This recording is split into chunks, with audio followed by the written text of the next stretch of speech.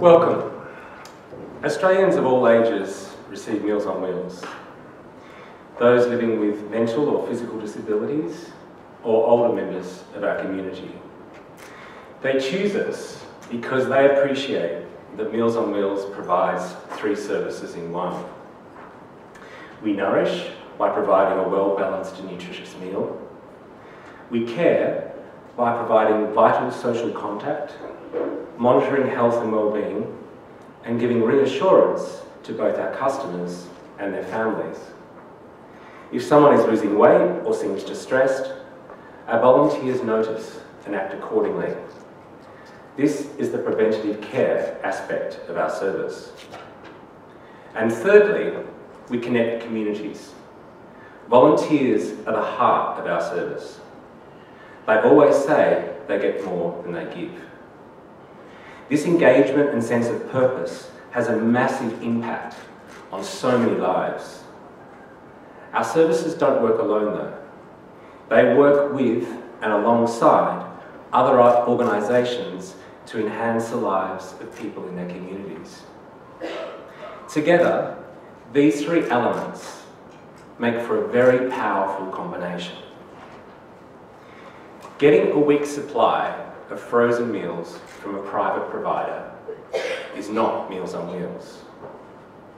We keep people well nourished, we intervene when they're in trouble, we prevent falls and hospital stays, we keep people at home for longer, which means that they spend less time in expensive residential care. It's been estimated for every dollar the government provides in subsidy, they get at least five back in downstream health savings. We are truly more than just a meal. However, we are also underfunded. And before I expand on this, I'd just like to recall a story.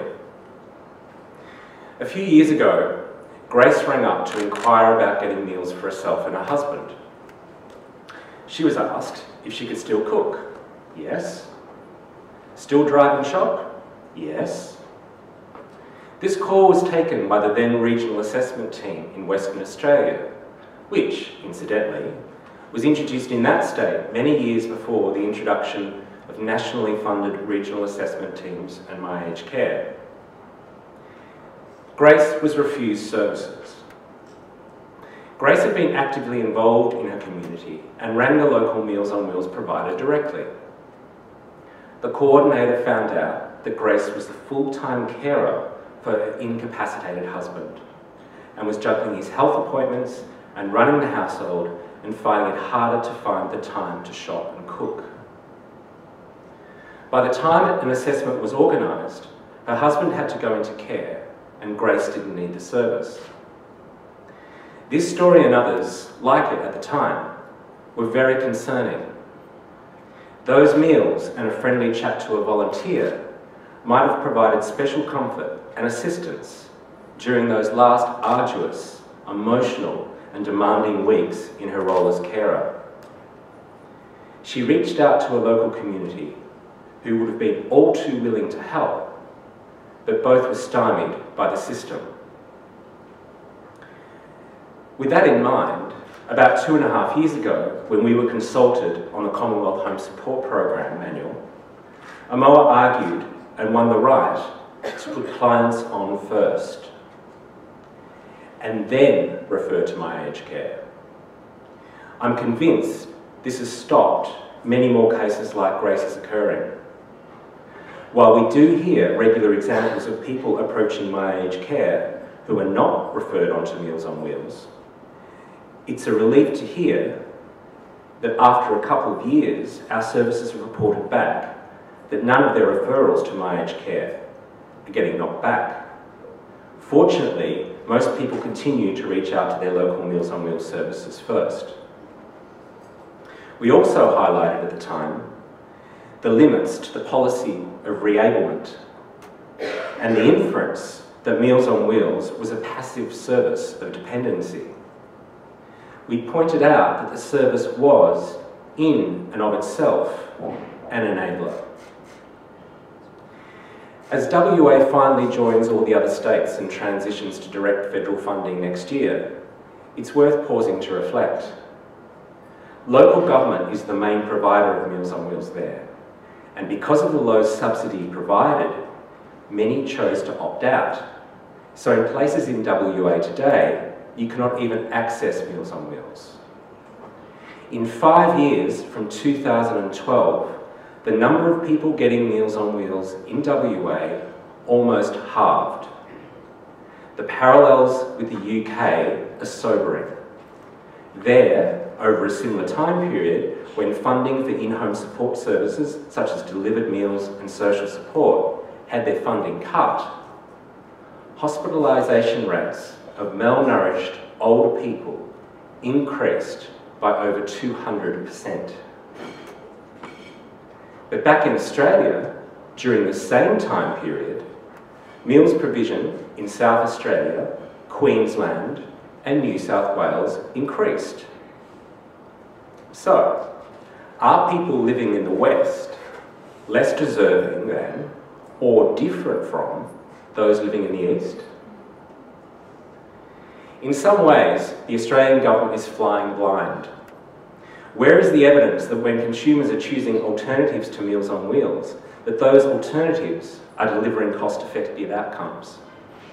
Where is the modelling that says keeping the subsidy so low will lead to better health outcomes?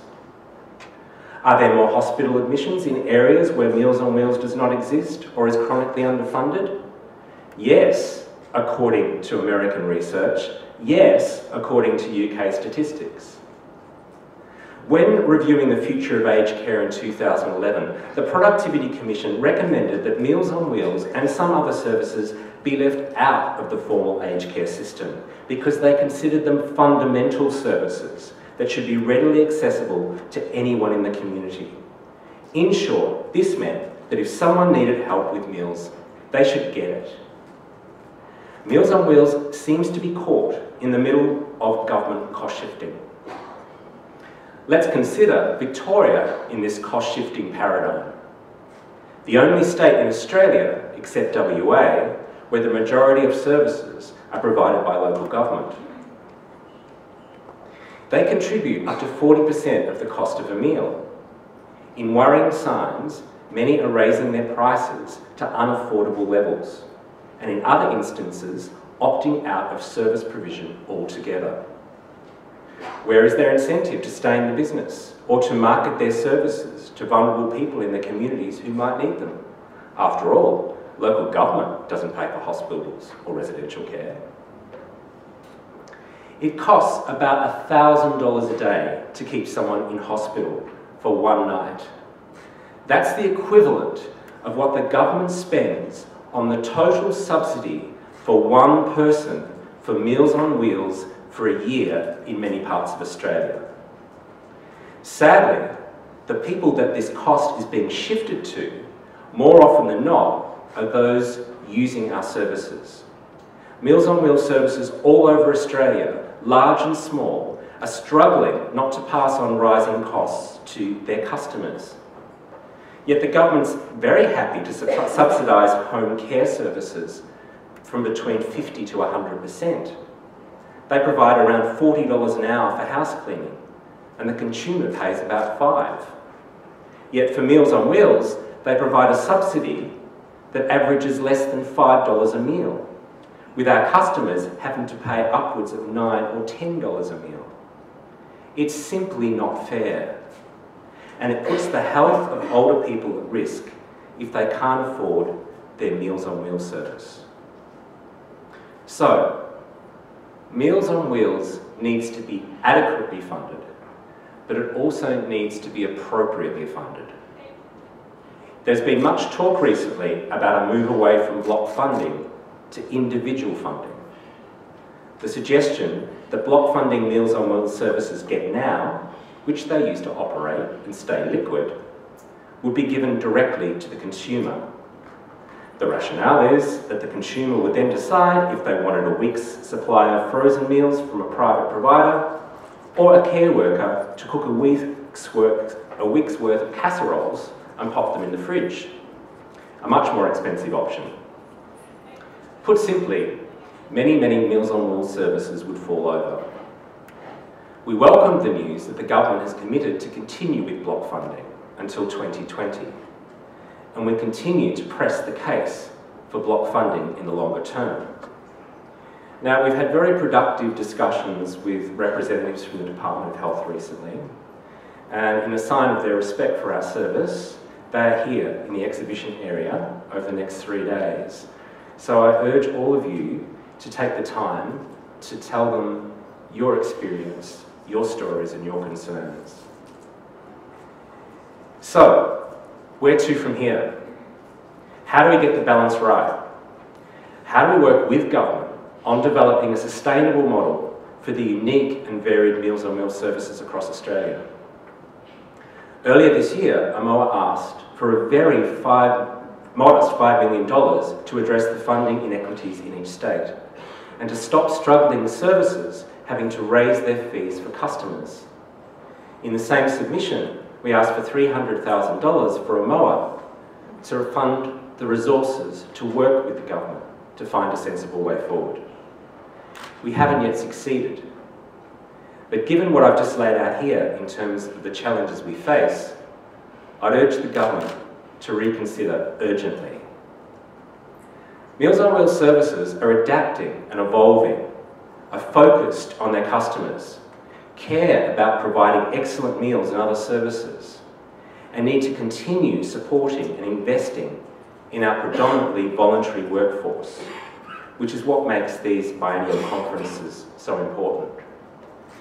But just before I wrap up, at the last conference two years ago, I mentioned my in-laws.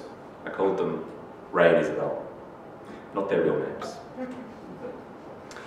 Isabel had a fall after a hospital and the family tried to get various services in. In short, Ray hated the idea and did his best to deter these hapless service providers. But Meals on Wheels weathered the pushback. They were both underweight at the time, so the entire family was relieved, especially those of us so far away in Victoria. Ray is now Isabel's full-time carer. Her dementia is advancing quite quickly, and he has come to really appreciate the social interactions with the Meals volunteers. I can't tell you what a comfort this is. Ray's just been diagnosed with stage 4 cancer, so I predict they have very little time together. There is absolutely no way they would have survived as long at home without these meals and the service is provided by these amazing volunteers. But let's just say it's given them one extra year. That's cost the Australian government less than $2,000 in terms of subsidy per meal for two people for one whole year. Ray and Isabel's little service in rural Queensland has just saved the government a minimum of $100,000 in health costs. What an amazing service. So as we listen and debate and converse over the next three days, let's not forget to celebrate that fact. Have a great conference.